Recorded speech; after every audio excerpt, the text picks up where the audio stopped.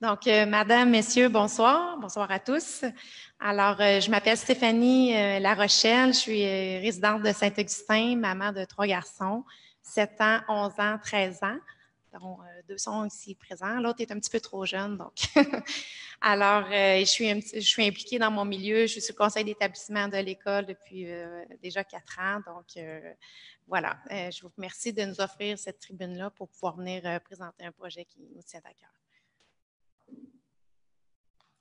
Bonsoir, Catherine Hardy, résidente aussi de Saint-Augustin, mère de deux garçons de 11 et 14 ans et j'enseigne à l'École des pionniers, donc je connais bien euh, les jeunes de notre ville.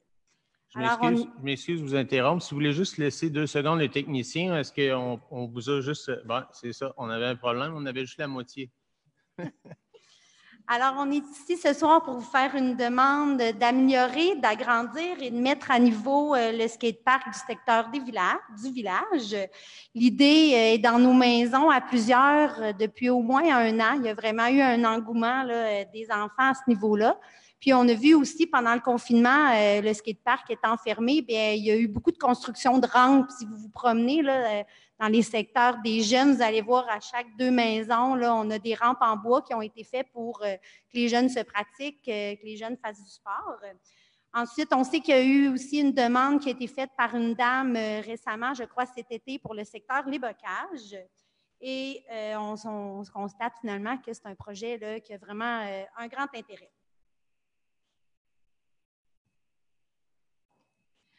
Alors, euh, à la suite de la demande de nos enfants, on s'est dit, on va aller valider auprès de la population, du moins de, notre entourage, euh, pour euh, s'assurer que c'est bel et bien un, besoin réel. Donc, on a décidé de faire un petit sondage sur, écoutez, c'est pas très scientifique, mais on, l'a publié sur nos Facebook, sur Spotted Saint-Augustin, pour essayer de voir justement cet intérêt-là.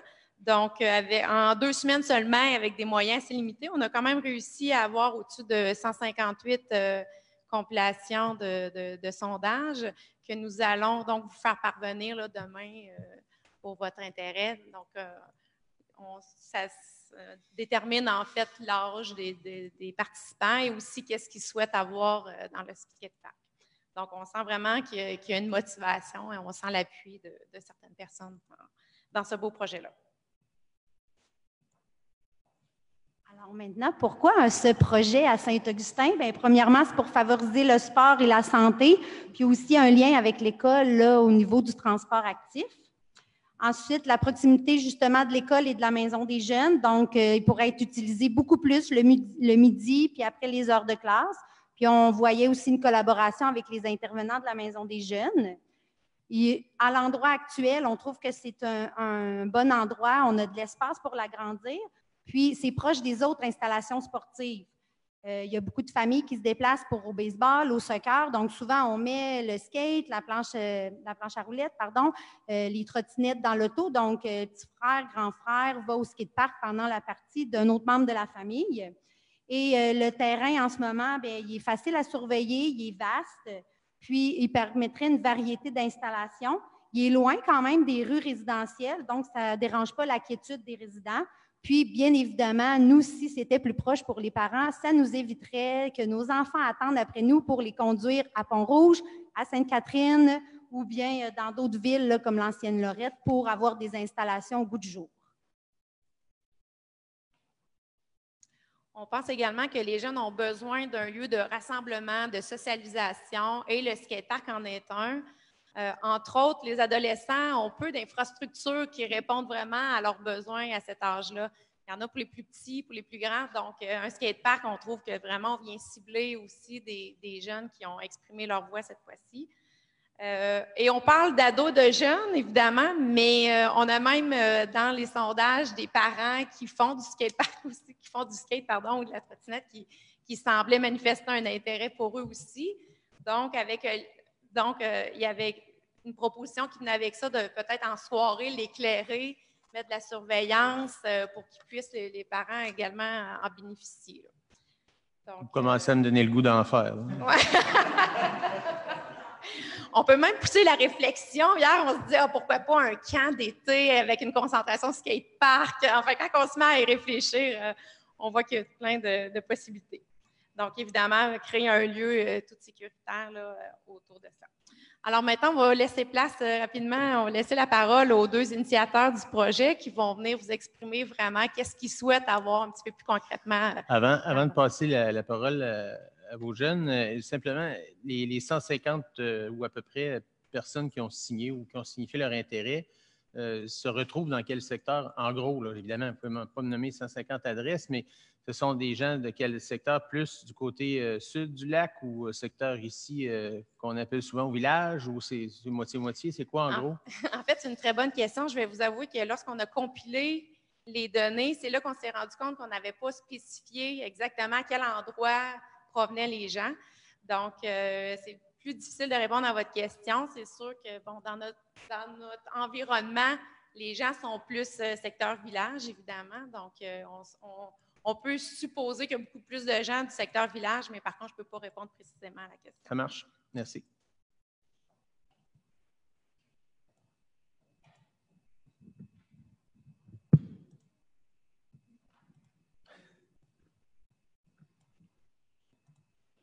Bonsoir. Allô?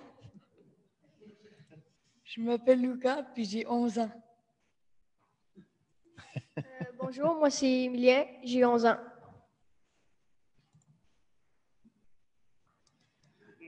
Vas-y, prends ton temps. Moi aussi, j'étais comme ça la première fois. Ça va se passer.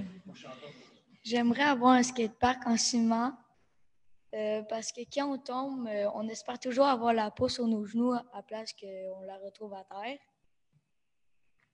Euh, on aimerait avoir une pump track. Ben, c'est une piste pour, mettons, nos petits frères, à place de descendre des rampes, ben, ils peuvent, ils peuvent en faire.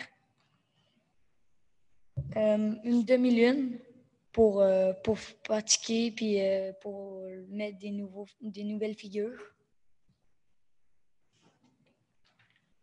nous autres, on voudrait un bol, un corps, puis un volcano. Puis euh, aussi plus de modules, des escaliers, des jumps, un point d'eau pour remplir nos gourdes, puis des coins d'ombre, euh, des lumières pour le soir. Alors, merci beaucoup pour votre écoute. Euh, si, vous avez... pour si vous avez besoin d'aide euh, pour euh, partir le projet, pour quoi que ce soit, pour faire des sondages auprès des jeunes, ben, on est là, puis nos jeunes sont là aussi pour faire de ce projet-là, qui, nous l'espérons, un succès. Merci. Très bien. Ben, écoutez, on va.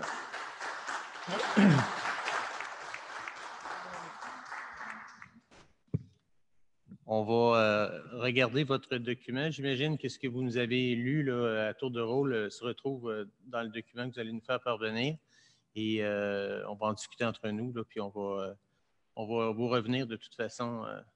on est en processus, on commence le processus d'adoption du budget de l'an prochain. Donc, on va regarder ce qui est possible de faire dans le cadre de vos demandes.